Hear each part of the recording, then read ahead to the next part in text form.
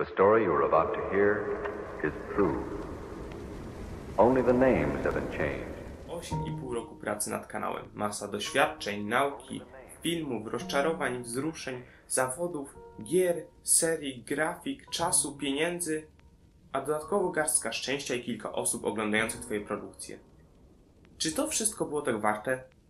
Mogłeś w tym samym czasie zrobić coś użytecznego ze swoim życiem. Nie osiągnąłeś absolutnie nic. Spójrz na to.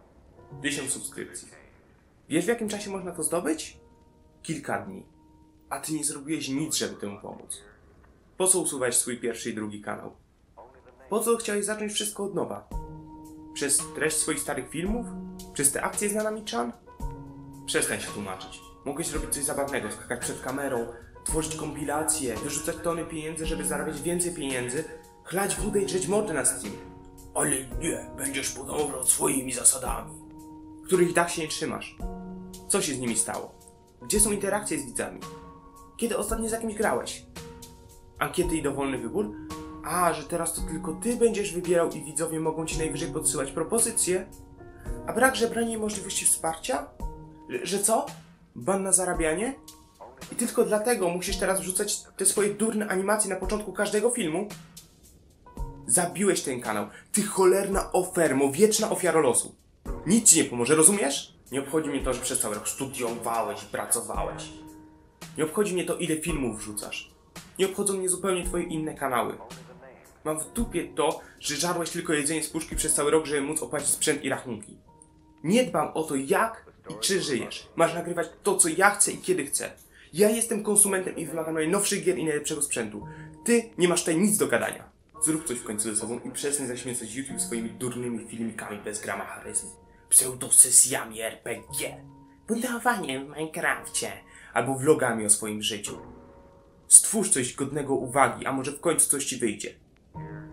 A, a może ogarnęło cię zwątpienie, co? To dodaj jeszcze smutną muzyczkę i może w końcu wykręcisz 100 wyświetleń. Wystarczy. Moje wybory były jakie były i tego nie zmienię. Kanał jest czym jest, a ja robię to, co lubię i co mnie pasjonuje.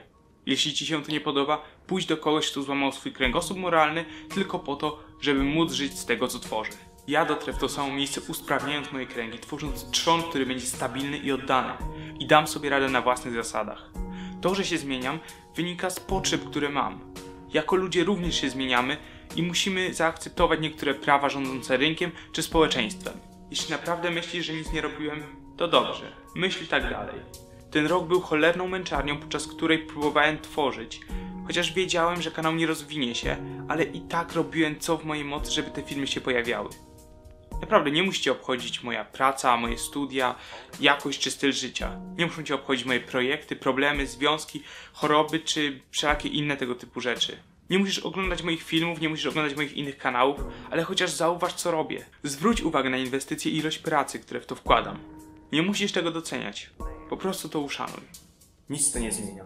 Nie spełniłeś żadnego z moich oczekiwań, a szukasz tylko wymówek.